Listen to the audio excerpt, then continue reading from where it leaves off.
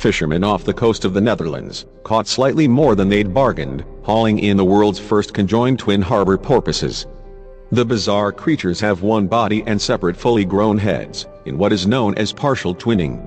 Researchers hope that the finding will help to fill a huge gap in the understanding of twinning in aquatic mammals, something that has only been observed 10 times worldwide.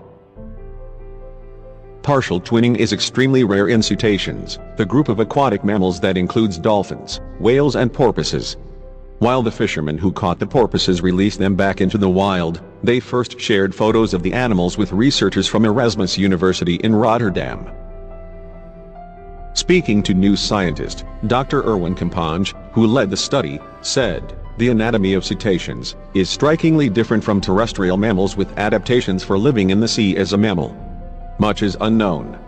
Adding any extra case to the known nine specimens brings more knowledge on this aspect.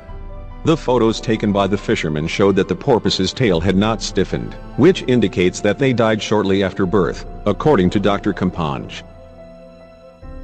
They also had a flat dorsal fin, something that would have stiffened if they were alive, and hairs on the upper lip, which would have fallen out.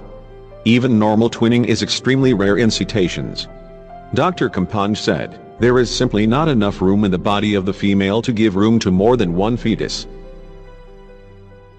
and if there are other conjoined cetaceans twins in the wild, finding them will be like looking for a needle in a haystack.